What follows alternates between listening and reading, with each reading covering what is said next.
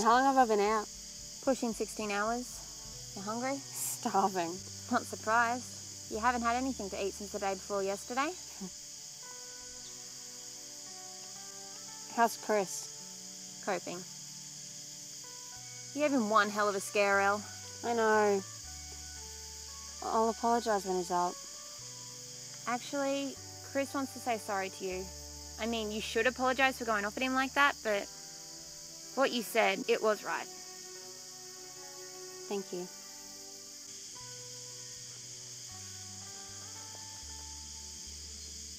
Is it as good as the movie? It's better. Much better. warned America not to get involved. The general said that America could find herself in the longest, costliest, and bloodiest war in her history if she intervened. He said his forces have occupied several major coastal cities. Much of the inland has already been taken and losses have been below expectations. Many civilians and military personnel have been captured and are being held in humanitarian conditions. The general then repeated his claim that the invasion was aimed at reducing imbalances within the South Pacific region. As international outrage continues to mount, reports of sporadic fighting in many country areas and at least two major battles.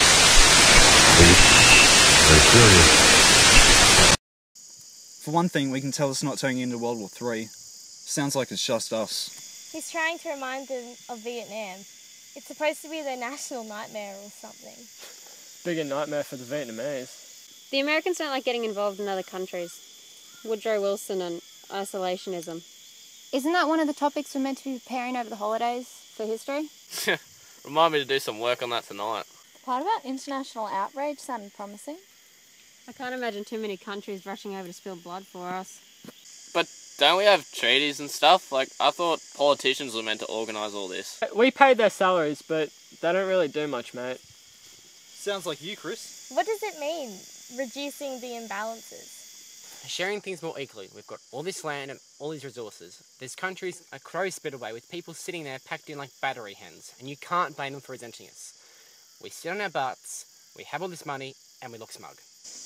So maybe it's time we make a decision. Option one, we can sit here and hide, doing nothing. Option two, we can try to be heroes, try and take back the showground, but we'll probably end up in there, or six feet under. Or three, we go guerrilla style. Us at night, out there, using hit and run tactics to take back our town. Yeah, we were born here. We grew up here. We know this place better than anyone else. We can ambush them, pick them off one by one. Are we seriously discussing murder? I don't think it's considered murder in these circumstances. The Bible says thou shalt not kill. David killed Goliath. That's a metaphor. So what? You think all of this is fair? Of course not. So are you in or are you out?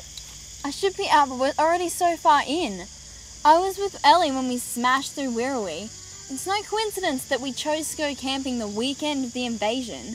We were spared for a reason. We're supposed to do something. So I'm in.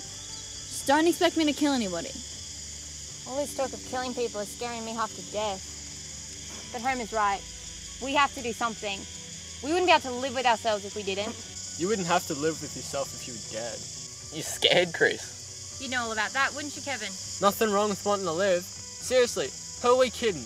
We can't do this. Our parents would have a field day if they knew we were planning to put our lives on the line like this. We have no experience whatsoever. Not to mention the fact that we're still kids. Yeah, well, most of the soldiers are too. But when the time comes, when we're in a situation like Ellie was, we have to make a decision.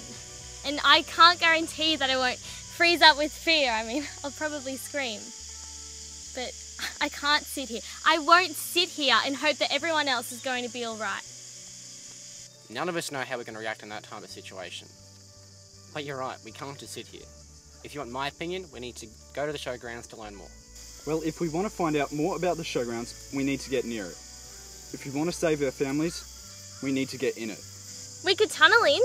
Yeah, or we could pole vault over the fence. Anyone got any good suggestions? I think we just have to trust our instincts. I mean, I killed that guy because my instincts kicked in. When it came down to it, I valued my own life over his. I didn't want to save my friends, I didn't want to save my country, I wanted to save myself. Our instincts are all we have left. And what are your instincts telling you? Tomorrow, the war will begin.